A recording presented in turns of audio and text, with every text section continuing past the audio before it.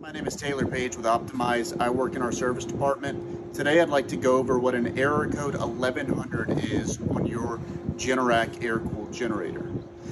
That error code is an overcrank, which typically is caused by the generator fuel supply not getting to the engine, or for whatever reason, the generator just cannot get up to the proper RPMs that it needs to.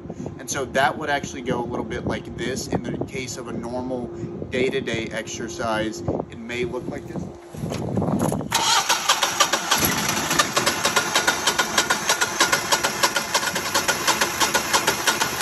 Now the generator will attempt six times before it truly pops an overcrank error code. For the purposes of this, we'll allow it to do that, but let's just see what that does.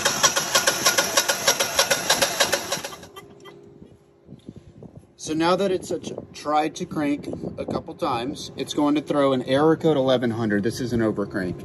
For the purposes of this video, this is simulated by cutting the fuel supply off, which I'll go ahead and turn back on. Now, in order to reset this, it will be like any other red light that you may encounter on your unit. The typical procedure for that is to hit off on the controller, followed by enter.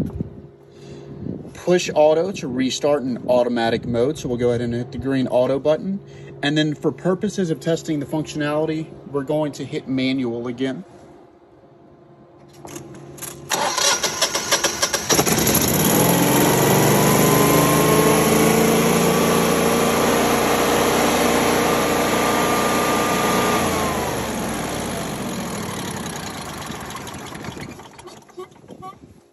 Now, typically, the most common cause for this is a fuel supply issue.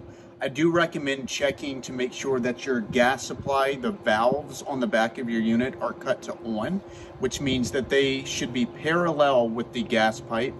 Um, if there is an issue with the cranking once you hit manual to retest, please give our office a call at 225 308 4100.